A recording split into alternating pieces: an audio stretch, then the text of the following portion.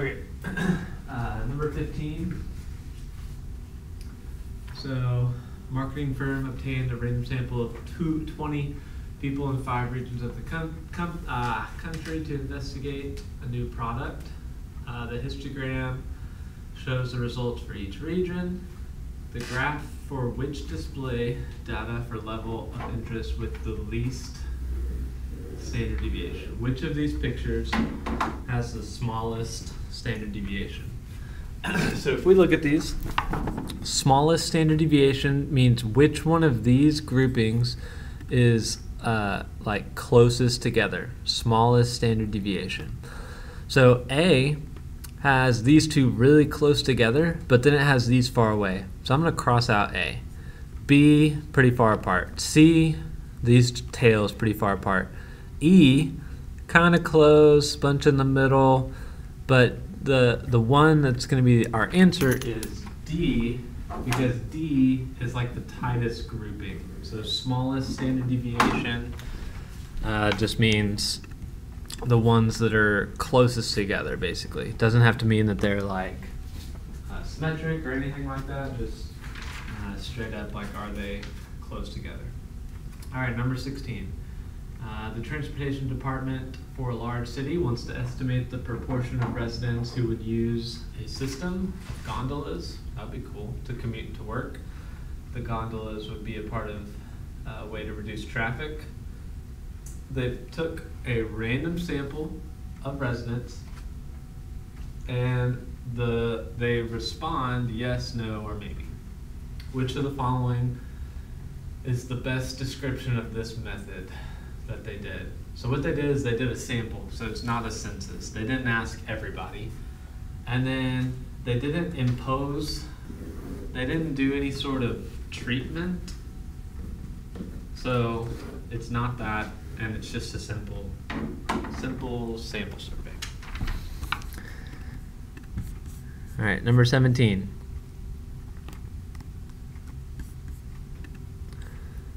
Okay. Uh, what we have here is um, they have to do a proficiency exam, and the exam consists of two sections. And to investigate one section more difficult than the other, they did a random sample of 50 candidates, and the candidates took the exam and their scores were recorded. So they took the first section and the second section. So the same uh, people did both. Same people did the first and the second, and then there's their difference. Which of the following is the test statistic? So a t-score, z-score, chi-squared, which one is appropriate to do for this two sections? All right, so I'm doing the same people did two different surveys. Mean of this, standard deviation this, mean on the second, standard deviation second. Here is the difference between them. All right, so when I'm doing a same person, uh, and I've got like two samples, uh, I'm gonna do a one sample test for the difference. And since what we're doing is means, means goes with a t, and I'm gonna do it for the difference between them. And so it's one sample. So t-score would be like my value. So this is the way I would have done it and then we'll look at the answers. Value minus, so like the null would be that the two sections are equal to each other. So it would be like 0, 10 minus 0 equals standard deviation over the square root of n. So that would be like what I would be looking for. When I look at this over on my on my answers, I've got a z-score, which is for proportions, which is not what we're doing. Chi-squared is testing how well does the observed uh, fit expected, which is not this. And then I've got this versus this, this one versus this one. So what I did is I did 10 minus 0. That's what this is right here. The only difference between these two questions is what type of standard deviation they were using. And this one uses the standard deviation of the difference. These use these two right there. So I would use this if these were two different samples. But since it's the same person, it's going to be, it was A, and that's why. Because it was the same person, I'm going to do it for the difference between it. Like in the first second. There weren't two distinct samples. It was really just like the same person doing both. Like how well you do on this first mock exam versus how well you do on the second. It would not be two different samples of people, it'd be the same sample of people in two different things. Okay. Number 18, new employees at a large corporation are going through a training during their first week of employment. The new employees take a written assessment to determine how well prepared they are for their jobs. A score greater than the mean indicates a well prepared employee. Assume the following distributions of new employee scores have the same mean score, the maximum, and the minimum. Which distribution has a shape that is most likely to represent the greatest percentage of well prepared employees? Okay, so a score greater than the mean indicates a well prepared employee. Which one has the greatest percent? This would be well prepared over here. Which one has the most people over here and a small amount over here? This would be skew left. Distribution skewed left.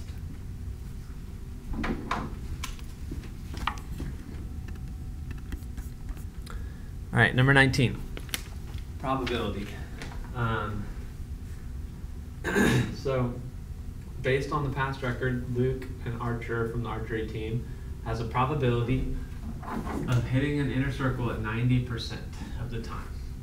Assume that one practice Luke will attempt five shots, and this is like his probabilities that came out. So this was his probabilities in five. So he hit all five 59%. Which of the following, or what's the probability that the number of times Luke will hit the inner ring target out of five attempts is less than the mean of x. So I need to get the mean of this. So what I'm going to do is I'm going to put this into my calculator and I'm going to get the mean.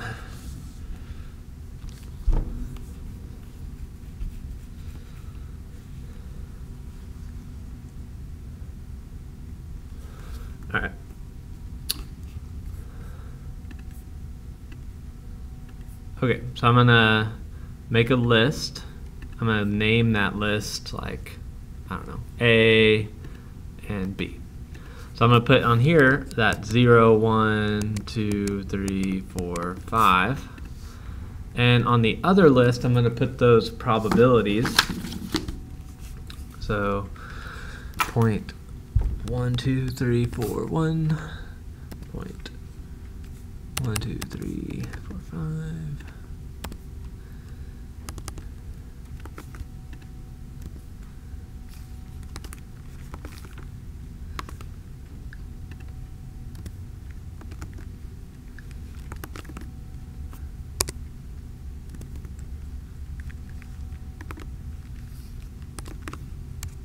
Okay, so I made that. Then what I'm going to do is I'm going to perform a calculation on it. So I'm going to do menu, statistics, calculation, and it's for one variable. And so I have my list is the 0 through 5. And then I do on this have a frequency. My frequencies were the B category. So typically I leave the frequencies alone, but I do have a frequency list, so that's like my B, and then I'm gonna click OK. So when I do that, I got a sample mean of 4.5. So I got the mean of this list, x bar equals 4.5. So what we're asking is, what's the probability that you get less than the mean? So probability of getting, there's 4.5 or less what are all of those probabilities added up together? And it is A, like 40%. Okay. So on this one, uh, it was the the thing was getting the mean from this type of list, and it has to deal with doing with doing it in the calculator. So, doing a stat list and then doing a, a one variable calculation. All right, number twenty. Number twenty. Uh, so what we have is a medical center conducted a study, and they did a random sample of 16 people who had a heart disease, and they had a mean of the, the people in the sample, they had an, uh, an X bar of 264.7 milligrams with a sample standard deviation 42.12. Assuming all condi- conditions are met, what is the following 90% confidence interval for the mean uh, for this?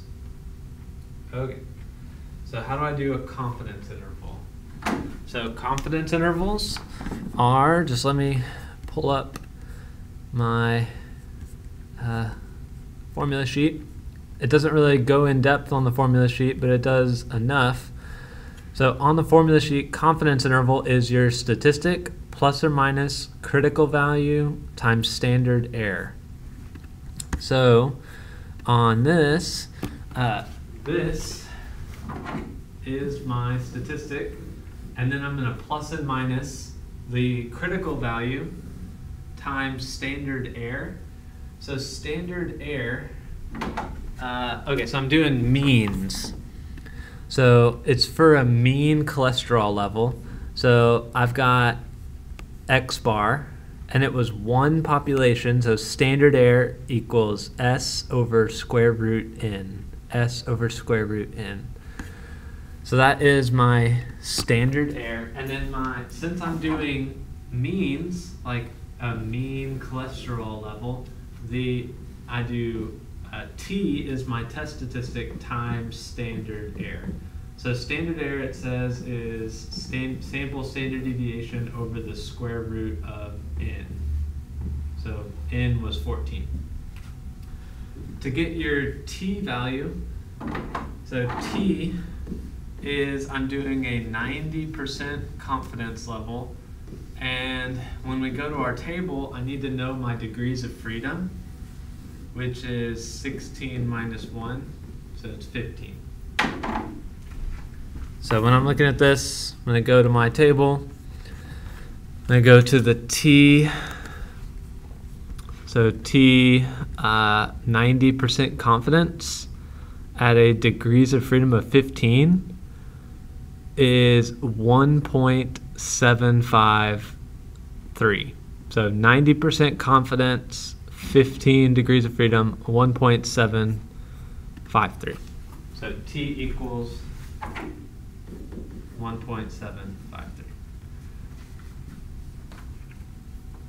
So when you do this, multiplied together, you get, so 264.7 plus and minus 18.491.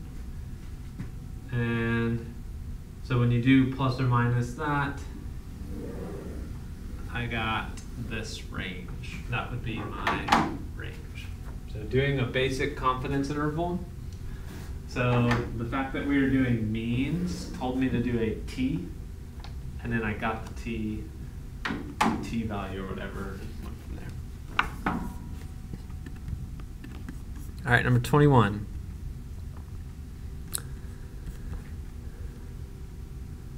Um,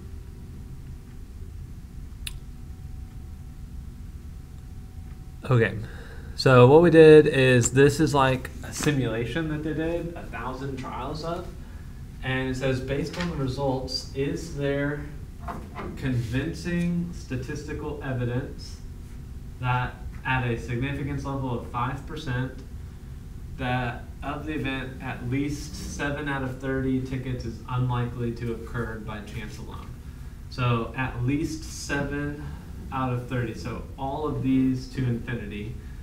Did, could that happen by chance alone? What's the percent chance of that actually happening?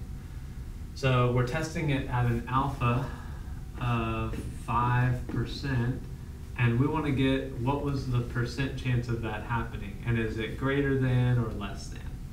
So here's the times it happened out of a thousand. So 78 plus 39 plus 15 plus 5 plus 1 is 138 out of a thousand. So that's something like 0.138 greater than 5%. So what that means is I have no, I would conclude I have no evidence. So based on the result, is there evidence? No, no, no. Uh, no, because the simulation selects that it's likely that Audrey could sell anywhere from 0 to 11. Eh. No, because the simulation suggests would occur about 13.8% of the time. That's why this number happens so much, it's way bigger than our cutoff of like 5%. All this is saying is that I could get 11, so it means it could happen. It's like, no, there's a very small chance of getting 11. So E is our answer. 13% is a very high chance of happening. It could happen 13.8% of the time, which is very high compared to our alpha of 5%. Okay, number 22. Uh, I've got a university doing a survey. They've got 34,000 students at the university. They did a random sample of 370 males, 400 uh, females. Of the 770 students selected, 493 indicated this. What are the population and sample? Hopefully this one's not too hard. Population and sample. Population is who did we choose from? So from would be 34,000 students. So not those.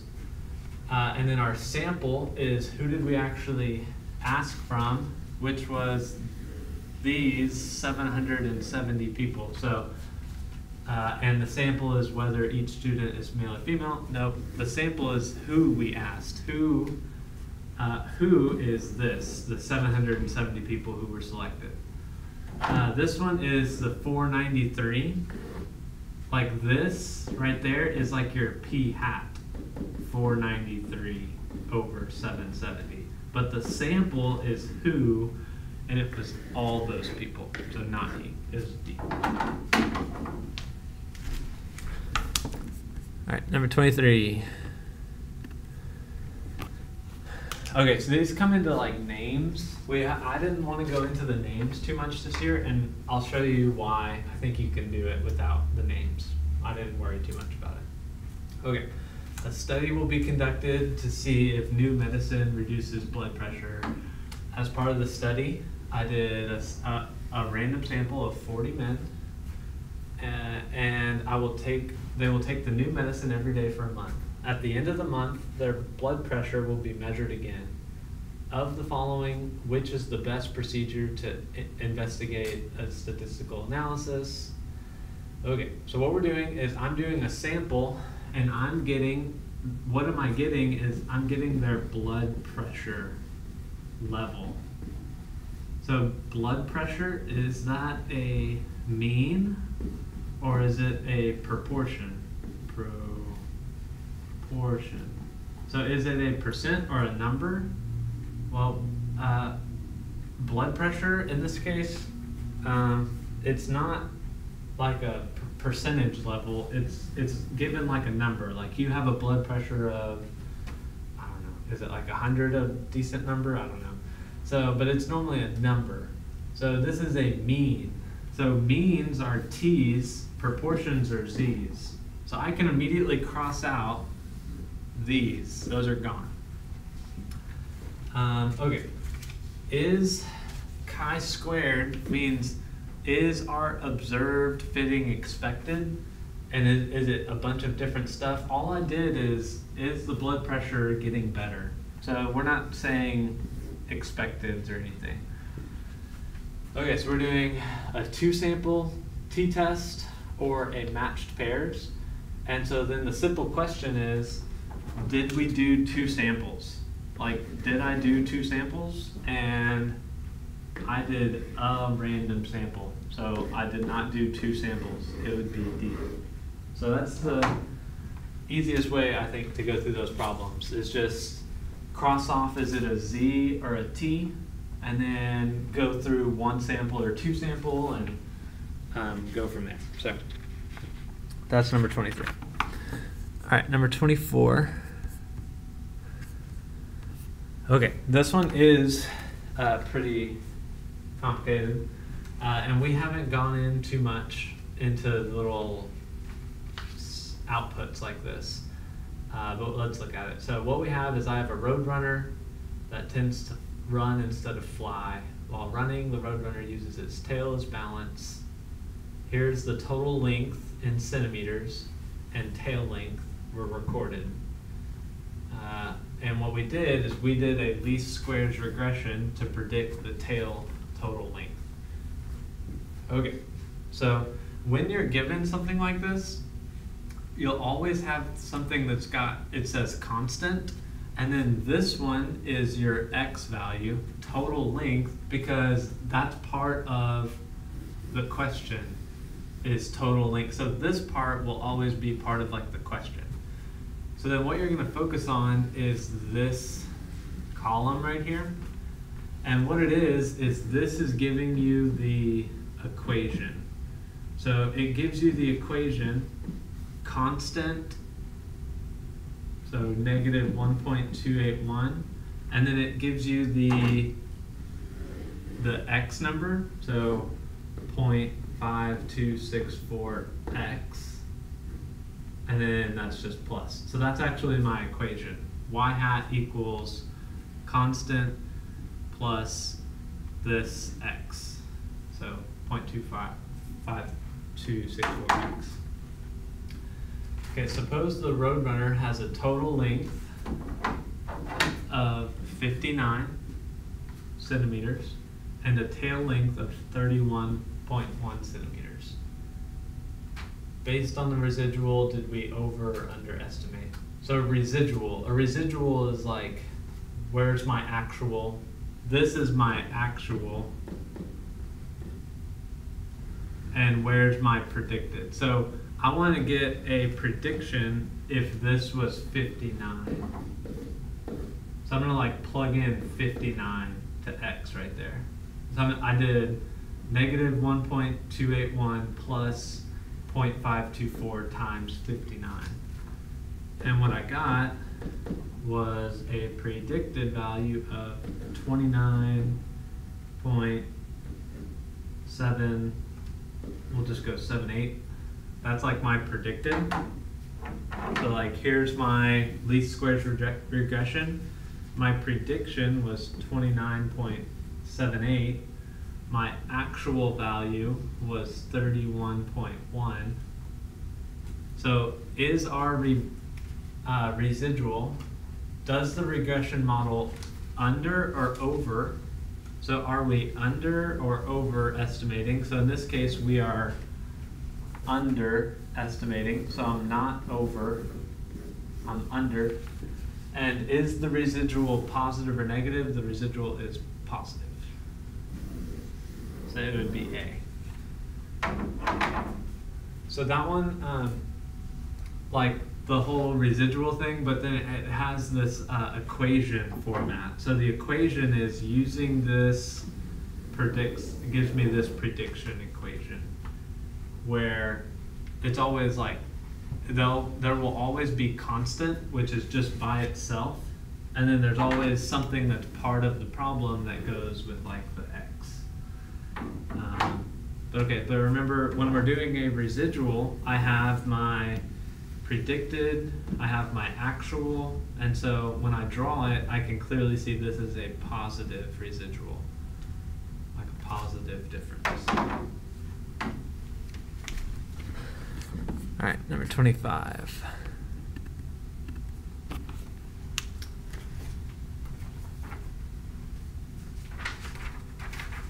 Okay, the distributions uh, is approximately normal with a mean of 4.6, standard deviation 0.6. What is the closest percent between 4 and 5 minutes? All right. Mean 4.6, standard deviation 0.6. How much is in between 4 and 5? All right. So what is that number?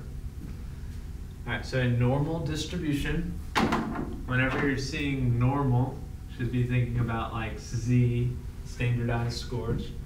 So what I'm gonna do to get the percent is I'm gonna do a Z-score for the number four, and I'm gonna get a Z-score for the number five, and I'm gonna see what percentages they are. So I'm gonna do the Z-score for four, so four minus the average divided by standard deviation. So you get a z-score of negative 1. So if I look on my table, negative 1 z-score, uh, a negative 1.00 z-score, so negative 1.00 is 0.1587. 1587, and that's the value less than. So 0.1587 is this right there. Alright, so then what I'm going to do is I'm going to get this one. 5 minus 4.6 over 0.6. which is 0.6 repeating, so 6, 7, because our table goes to two decimals, so I'm going to go to positive 0.6 and then scroll over to the 7, 6, 7. So that would be 0.7486. 7486. That is this value all the way 7486. So if I'm trying to get this red area, I need to subtract those two. And when you do 0.74 minus 0.15, you're getting about 59%.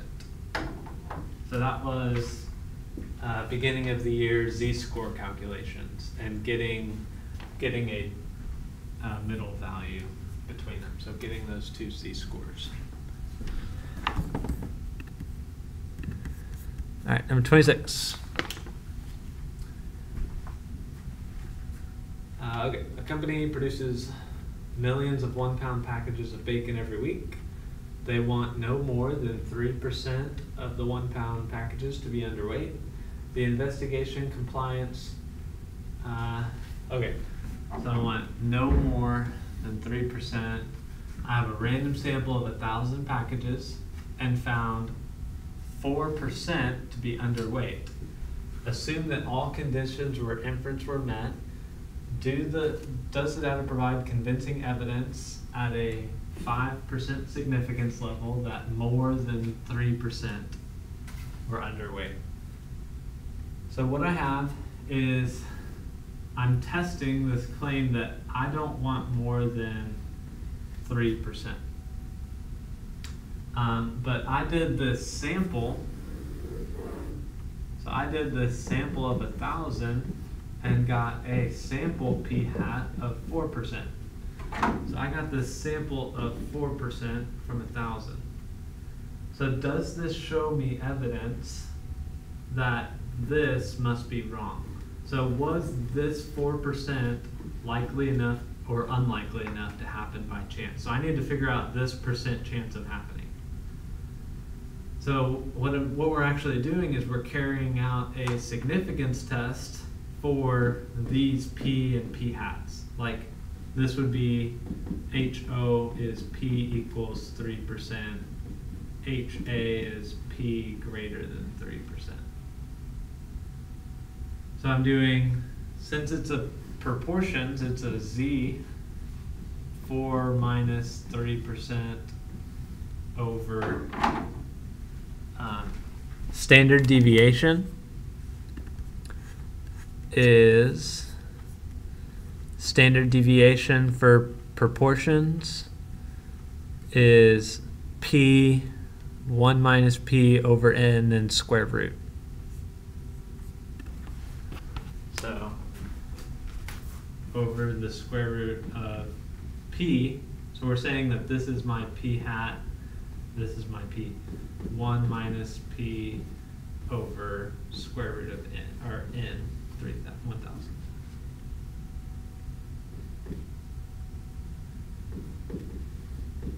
So when you get that, that means that this had a z-score of 1.85. And so then I can get, like, what's the percentage? What percent chance was that to happen? z equals 1.85. And so since we're doing we're doing a greater than test, what I'm going to do is is I'm just going to look up the negative value because this table only looks up the less than. So if I come over here and look up positive 1.85, I would have to do 1 minus this value. So what I'm going to do is I'm just going to come over here and look up negative 1.85 and then I don't have to subtract it. So 0.0322. So when you get that value, 0.0322. That's this percent chance of happening if this truly were the mean. So that is less than the alpha, so I do have evidence. I do have evidence. So do we have evidence? Yes, I do. So I'm going to cross out the nose. And then there's my p-value less than the significance level, so B.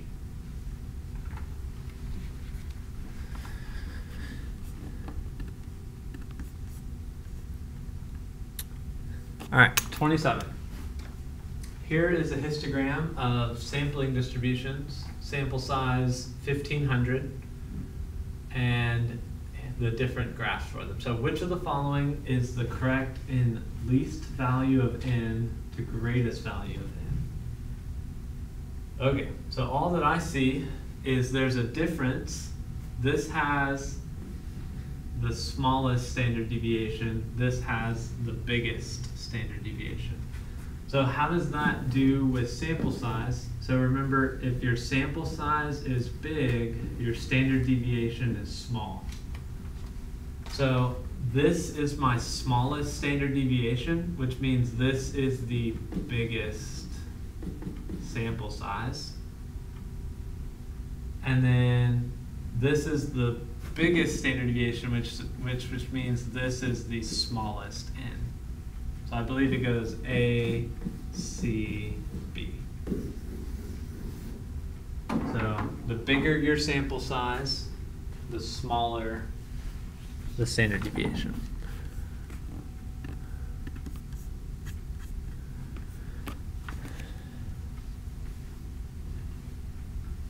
All right, number 28. Uh, I'm going to do a study to investigate the effects of soft drink on fat stored.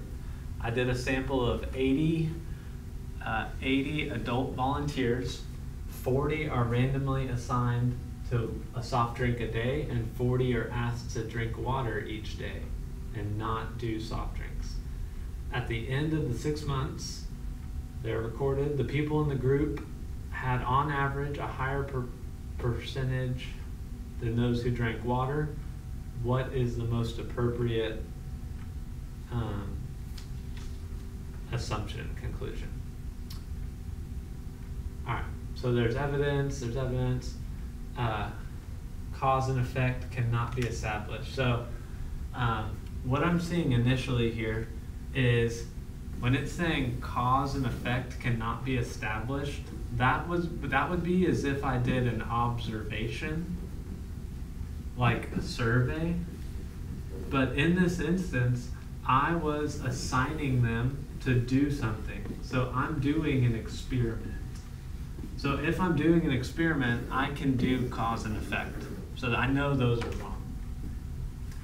All right, so let's look at the difference between these things. So there's evidence consuming soft drink causes more fat, um, and the conclusion can be generalized to all adults. The conclusion can be generalized to all people who drink soft drinks. The conclusion can be generalized to adults similar in the study. So that's the difference on A, B, C, is who can we actually generalize this to? So can we say all adults, all people who drink soft drinks, or adults similar to those in the study?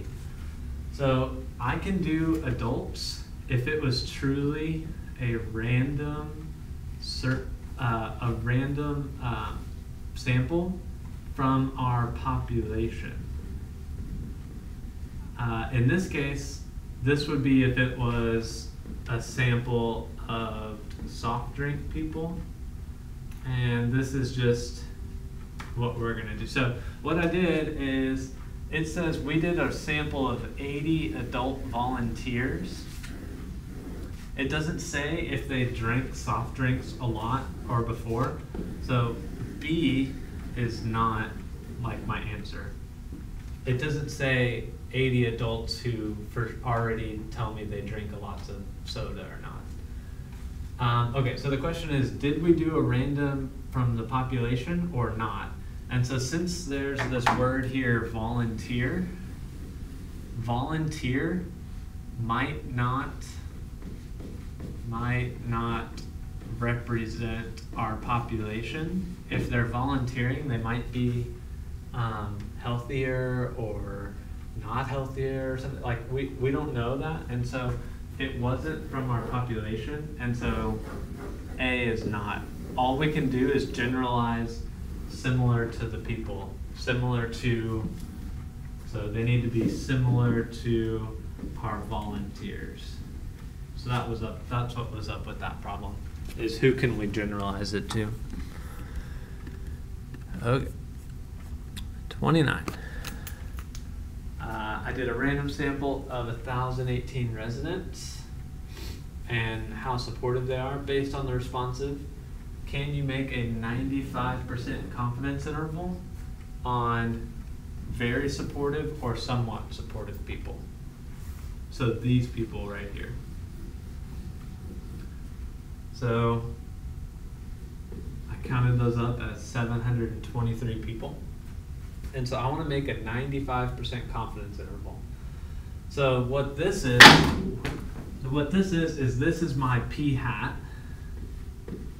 of 723 out of 1,018, which I calculated was 71%.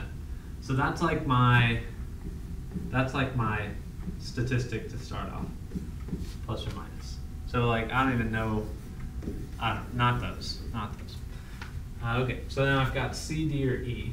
And so 95% confidence interval, and I'm doing proportions. So I'm doing a Z times standard error. So 95% confident.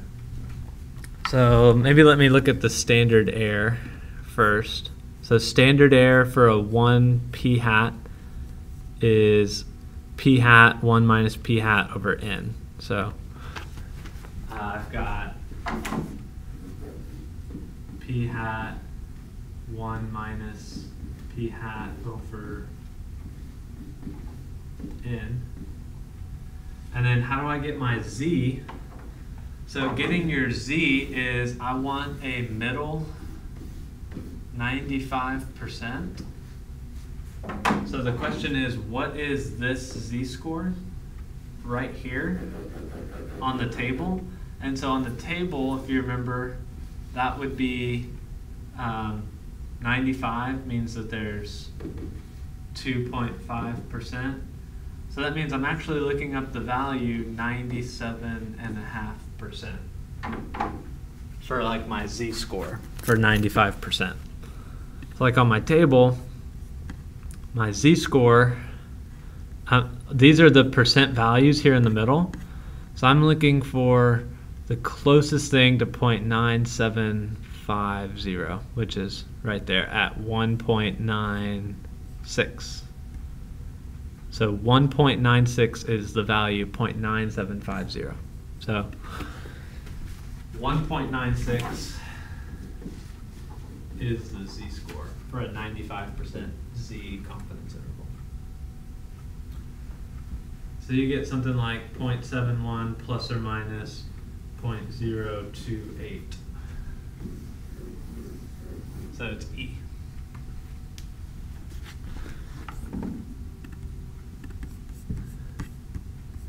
All right, number 30. Uh, the manufacturer claims that the average number uh, is 400. The average number of cycles for its batteries are 400. The consumer does a random sample of 100 and calculate the mean number. Which of the following is justified by the central limit theorem? So central limit theorem says that if your sample size is greater than or equal to 30, that the sample distribution will be normal. Alright, so let's see which one of these is actually looking at this. So uh, the distribution of the number of samples is approximately normal because the population mean is 400, is greater than 30.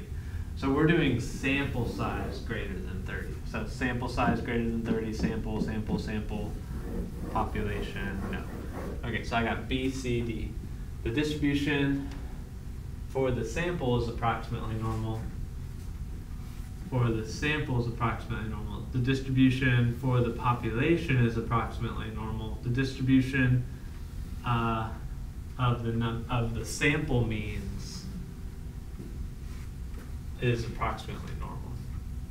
Okay, so what's the difference between these? So uh, our theorem says that the sample distribution, the sample distribution of your x bars, like all the different x bars that I get on my 100 samples, those sample means will be normal, not the population, and not this, not every single sample, it's the means of all the different samples are normal. So not B, D. All right, number 31.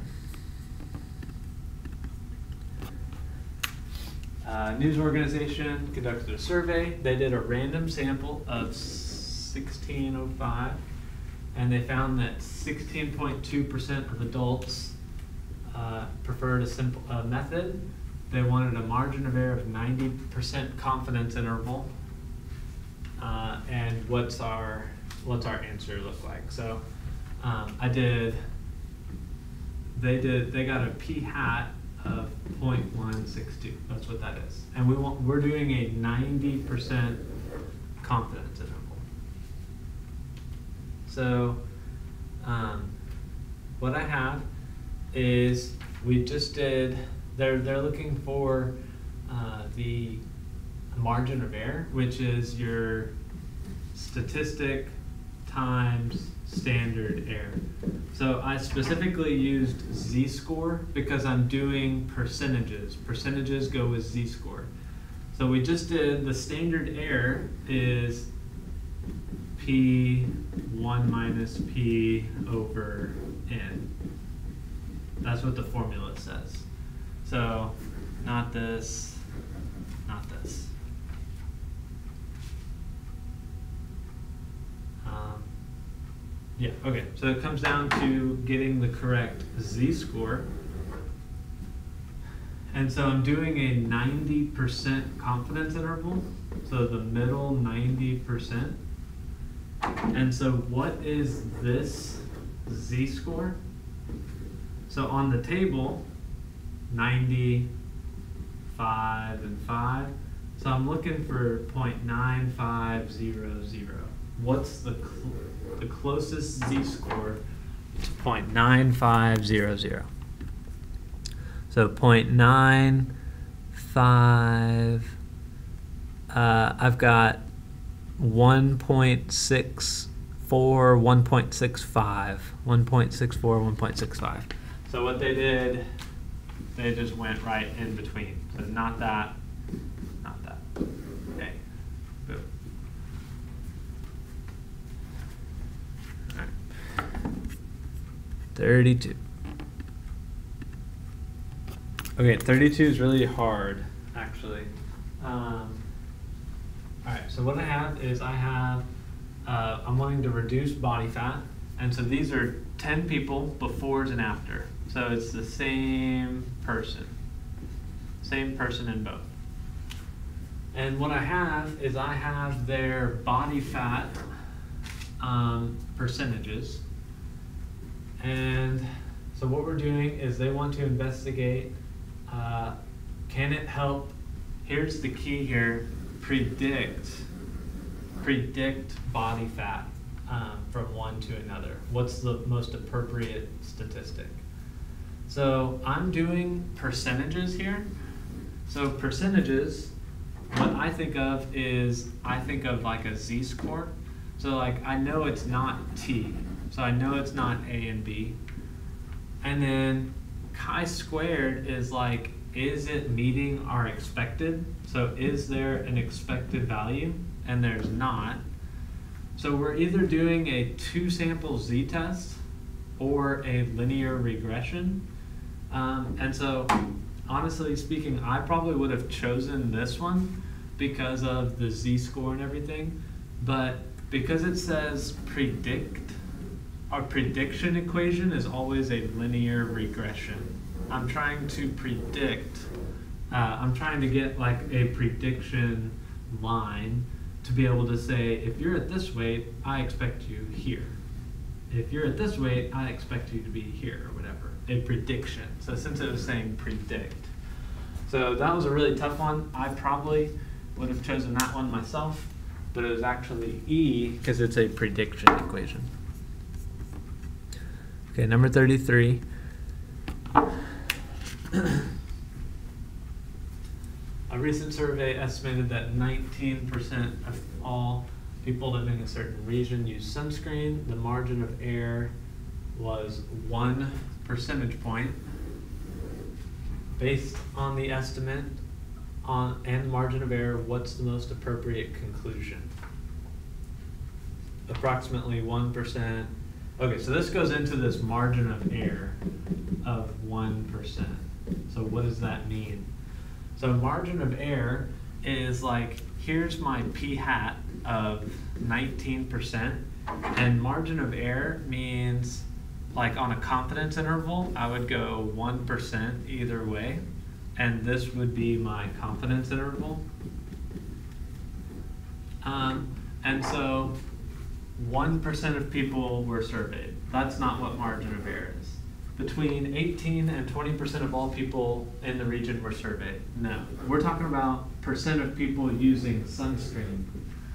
Uh, all possible samples will result in 18 to 20% being uh, using.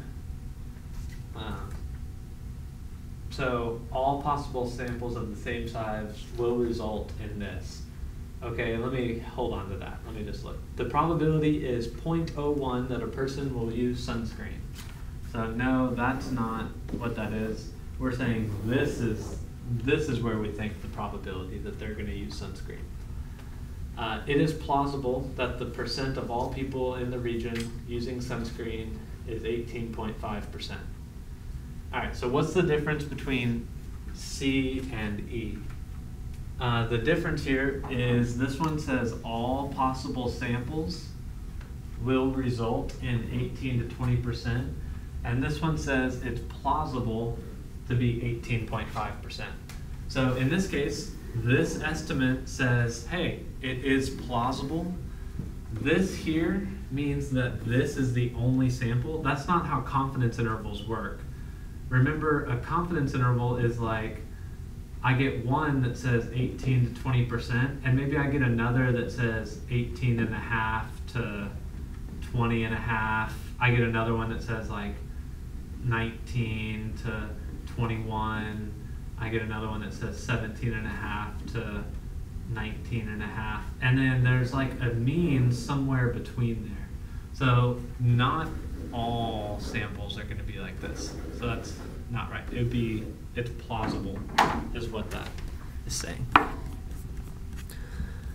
Okay. Number 34. Uh,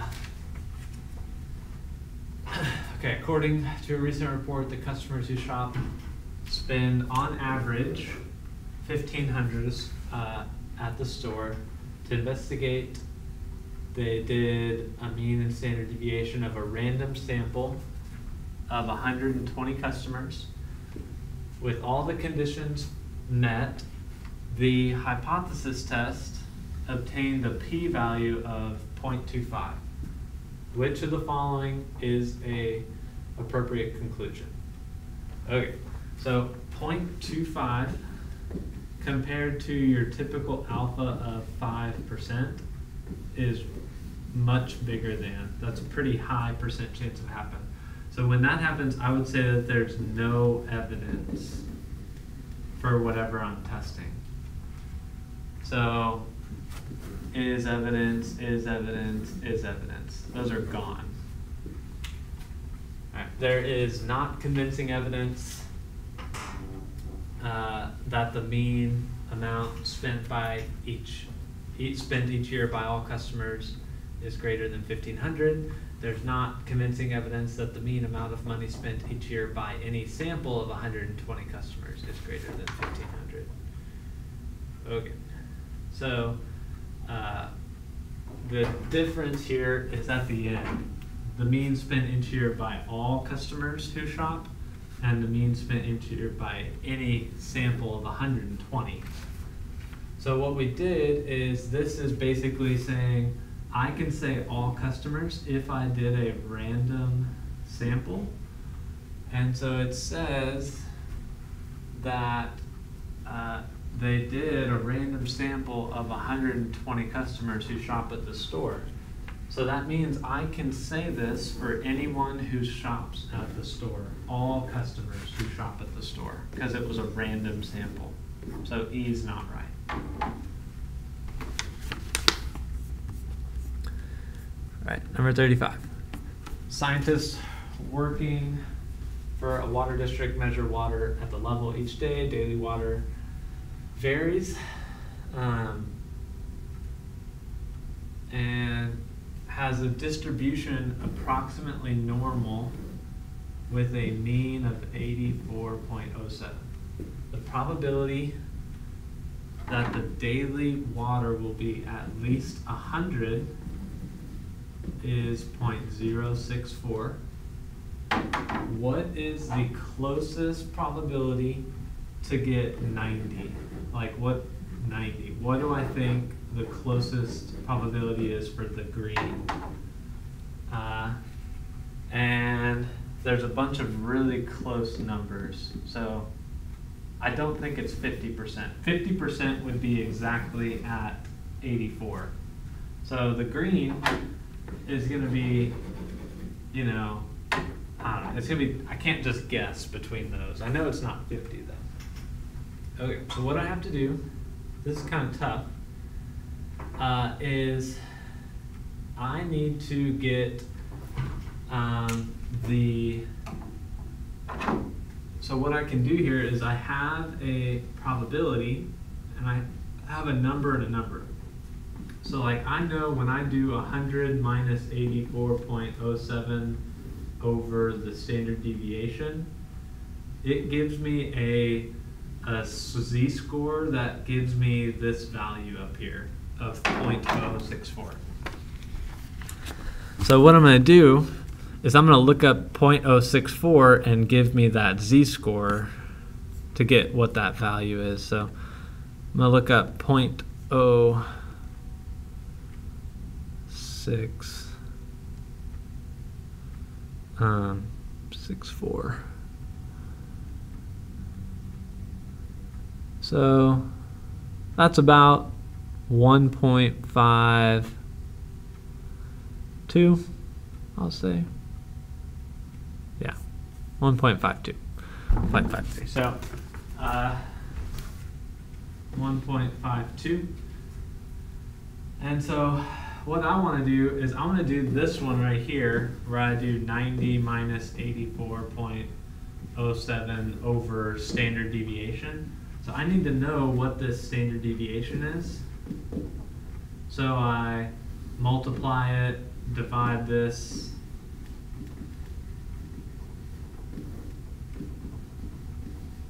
So the standard deviation ends up coming out to like uh, about 10 something.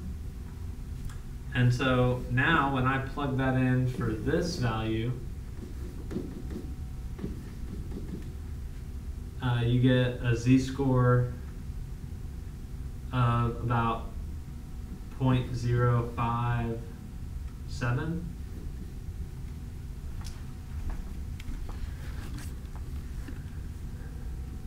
Uh, which zero five.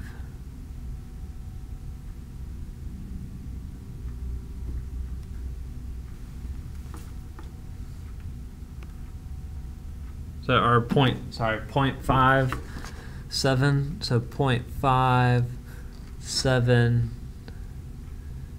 So point five seven point two eight four three. So zero point five seven. You get about point two eight four three, which is at that twenty nine percent. So that one was like it gave you a percentage so that you could get the z so that then you could get the standard deviation to do this other problem and then you do it. So it had a bunch of different like solving for um, a missing standard deviation and plugging it into a different problem. So that was a that was definitely a more uh, involved problem. Okay, 36. The president of a large company uh, recommends that employees on average do 24 hours of community service. The president believes it was different than 24.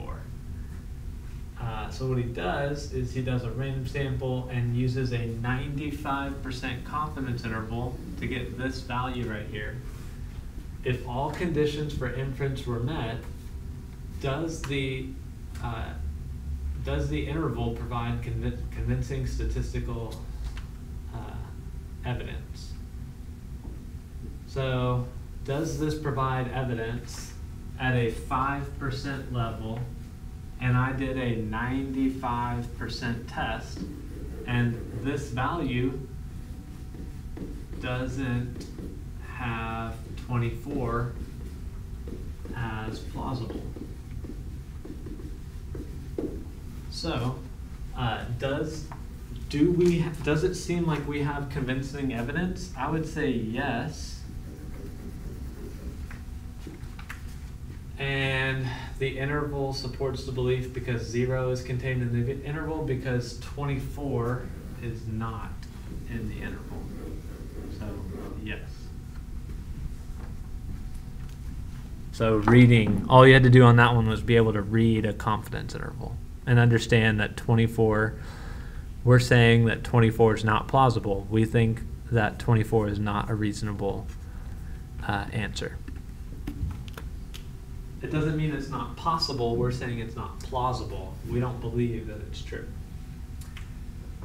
Okay, 37.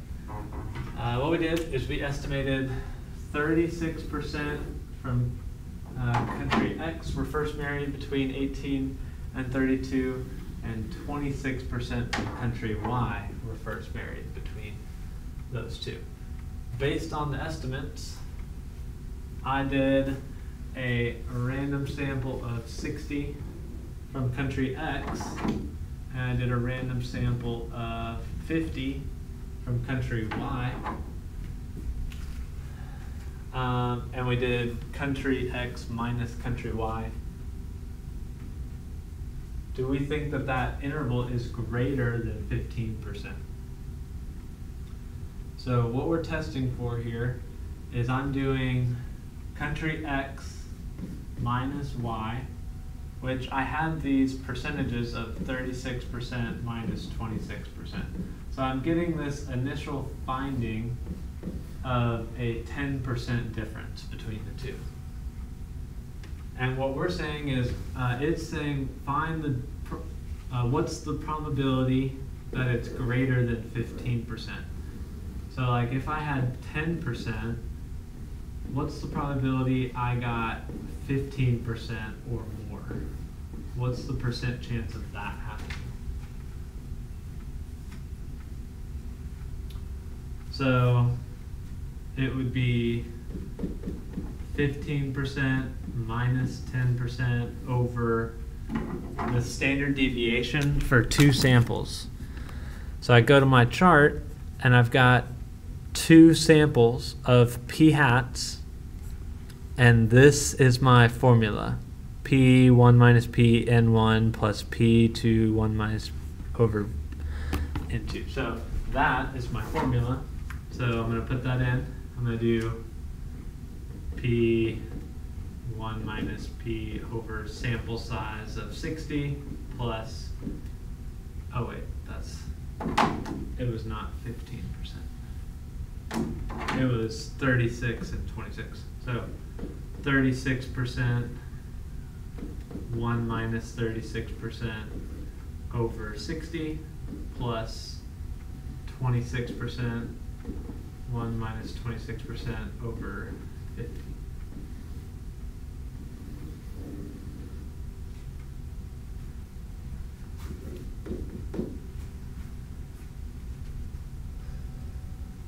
So when I did that, I got a z-score, and you can check me, of 0.57. And so when you look up 0.57 on the table,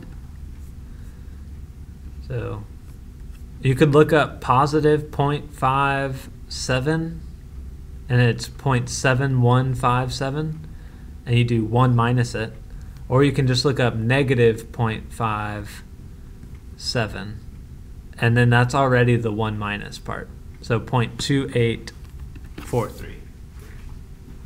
So 0.2843.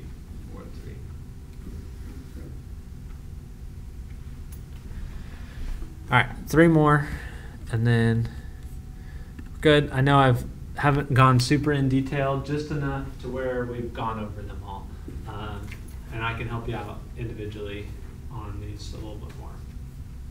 Okay, so this is one of those ones with the output, computer output again. So what we did is we did a sample of 11 store receipts and the cost it took per each receipt. Okay, so here's this whole like table output again. When you look at these, you look at this column and I told you to look out for it to say constant. This one's weird, it says intercept. These are the same thing, constant and intercept, y-intercept. And then this is your x. So, like that's my numbers there. Okay. So it says assume inference are met. Which of the following is a 95% confidence interval for an increased item of one purchase? So if I increased, if I actually purchased not one item but 12 items. Uh, okay. So what am I looking for? So um, what I've got is this is my x. This value is what I care about, that 2.784. So that is my x bar, that 2.7 number. Okay, where do these other numbers come into play? So let's look them up. Uh, on a table, these are like your t values. So I need to look up the t for a sample size of 12. So that means degrees of freedom equals 11 at a 95% confidence rate. So degrees of freedom on the t table, degrees of freedom of 11 at a 95%. Uh, so degrees of freedom are, yeah, 95%. So the 2.26, oh, there we go. I got that. I got that mixed up. So if I did one less, it'd actually be a sample size of ten. It'd be nine.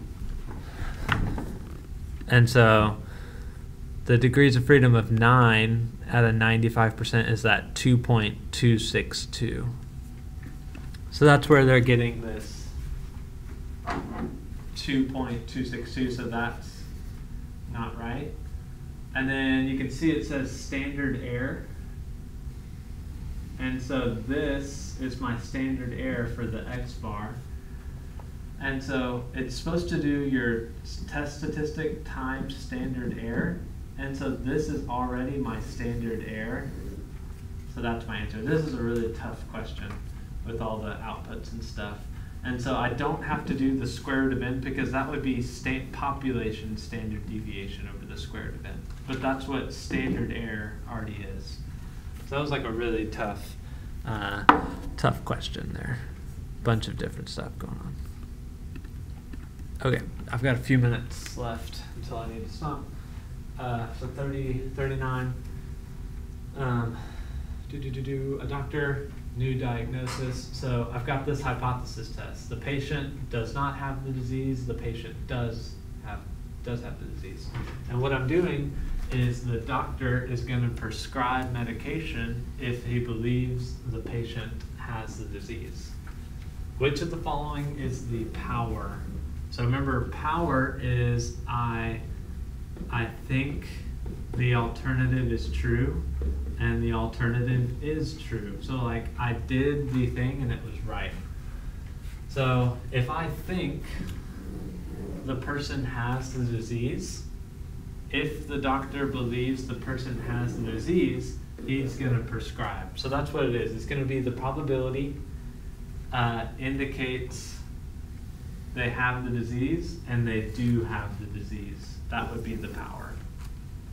I think the alternative and they do. I think they have the disease and they actually do. The test says that they have the disease.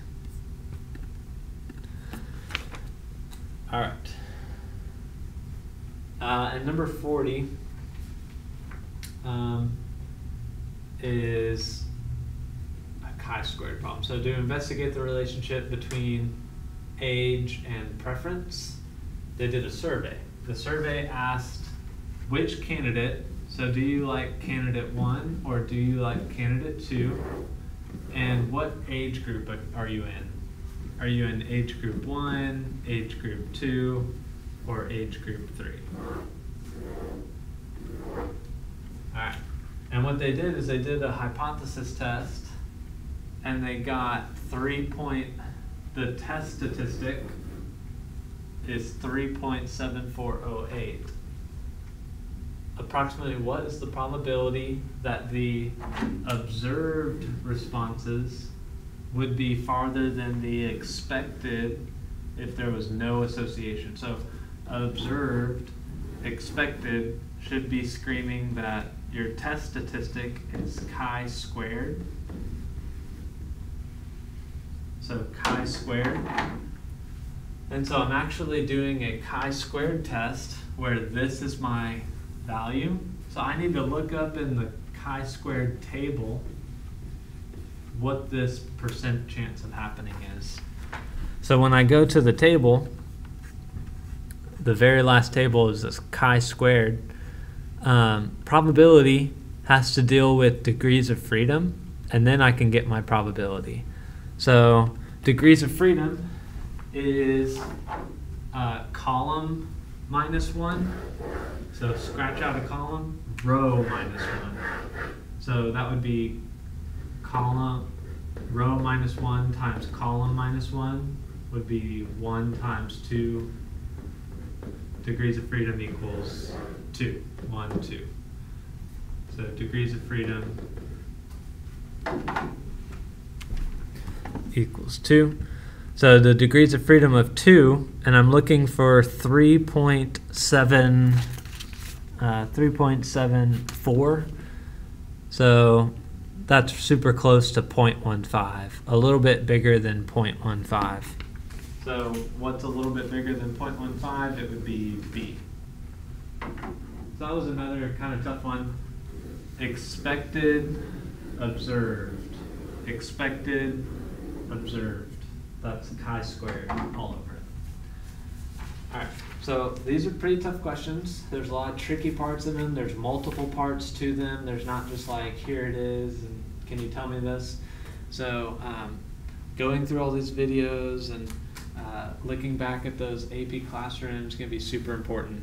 Uh, try and get these down. We're going to do some more examples, and we're going to do another test, and uh, keep on trying to get these different parts down.